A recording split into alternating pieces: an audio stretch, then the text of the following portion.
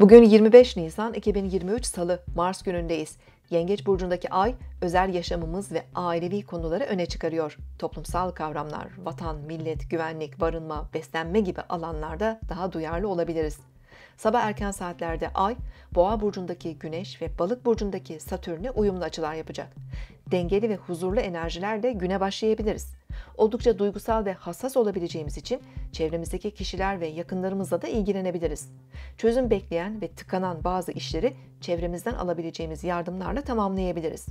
Bizim için önemli olacak kişilerle tanışmamız veya daha önceden tanıdığımız bazı kişilerle karşılaşmamız mümkün. Tesadüfi görünen bu ilişkilerin ileriki günlerde yaşamamızdaki etkisi de artabilir. Akşam saatlerinden itibaren Ay, Boğa burcunda gerileyen Merkürle uyumlu görünüm yapacak.